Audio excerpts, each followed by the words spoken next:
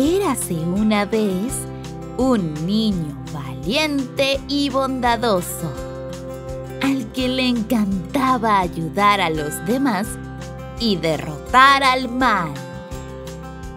Viajó por diferentes tierras, incluso se enfrentó a un poderoso dragón para salvar a la gente. ¿Y lo consiguió?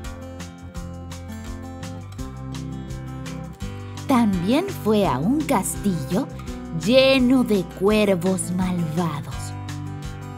Y los derrotó a todos.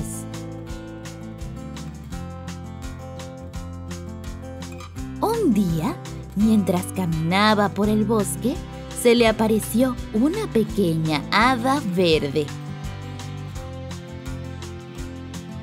Y le pidió ayuda le habló de una hermosa niña llamada Rapunzel, atrapada en lo alto de una alta torre. Cuando Rapunzel era pequeña y jugaba junto a un estanque, una bruja malvada se fijó en su pelo mágico y la secuestró.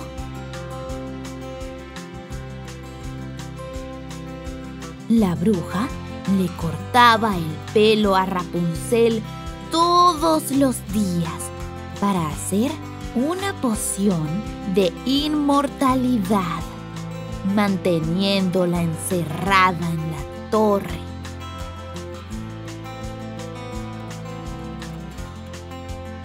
El niño valiente siguió alada hasta la torre y le pidió a Rapunzel que soltara su larga melena por la ventana. Lo utilizó como una cuerda para subir y rescatarla. En ese momento, la bruja volaba en su escoba mágica hacia la torre. Pero Rapunzel y el héroe se alejaron rápidamente a caballo, escapando de sus garras. Cuando la bruja llegó a la torre y vio que Rapunzel se había ido, se dio cuenta de que ya nunca podría hacer su poción de la inmortalidad. Así que se enfadó mucho.